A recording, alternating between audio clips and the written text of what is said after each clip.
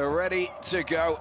Spot in the group. A win would take anybody above AS Vita and Ahali, and that is something that you should be very proud of. Of course, artificial surf. Try and get rid of the ball. Here they go. Oh, beautiful play from Hammer. Hammer shot, and uh, it's nicely taken.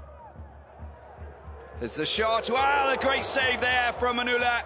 The perfect shot. Here's the resulting corner into the penalty area. Who's there to try and get a shot in? Oh, wow. That was. Get the cross in, it gets blocked. They've still got the ball. There's an opportunity for a delivery into the penalty area. Uh, ball comes back to Thibautin. There's the, uh, the cross, a little header there, an opportunity. The ball's still there. There's a shot. Oh, what a goal! What a goal! The penalty area.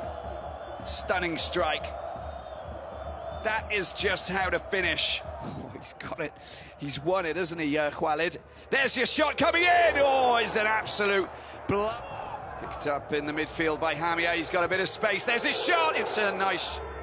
Oh, it's been stolen. This is an opportunity. This is. Oh, there's no one in the penalty area, and it's kicked away there. Well. But he got to the ball and he got his crossover right. Up against Manula, Hamia, Hamia, Hamia. Can he find the back of the net? Yes, he does. 2 0. JS Saoura have taken a two. These Algerian fans. Cool as you like. Oh, recuperated there by Haruna. There's a chance. Oh, that's very close. It's unlucky. Kude, it's a good ball out to the right-hand side. Is Maluna with a decent delivery? Well, the shot there has just really been tested, is he?